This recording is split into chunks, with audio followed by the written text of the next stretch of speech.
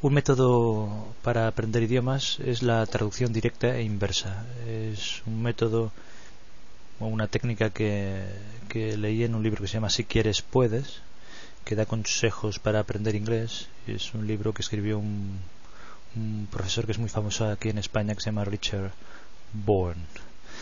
En fin, ¿en qué, en qué consiste el, el método en cuestión?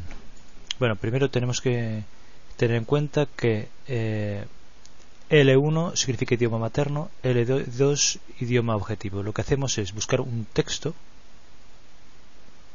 que sea fácil en, en tu idioma objetivo, en el L2, y entonces lo que tienes que hacer es traducirlo a L1, es decir, a tu idioma materno. Por ejemplo, si tú eres español y estás aprendiendo inglés, eh, el texto sería en inglés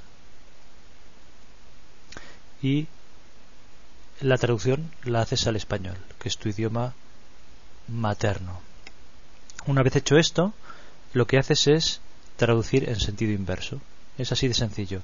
Lo que se recomienda es que la traducción la hagas lo más literal posible para que eh, el texto que has hecho tú en español te sirva como pista para poder hacer eh, otra vez o para poder escribir otra vez el texto en inglés. Mm, es un sistema que me parece muy bueno y bueno, es el método que utiliza Luca, que es un, un políglota alucinante que hace un par de años encontré por internet y entonces eh, más abajo en los comentarios pongo un enlace a su vídeo de YouTube en donde explica el método y mm, también a un blog en donde también explican el método.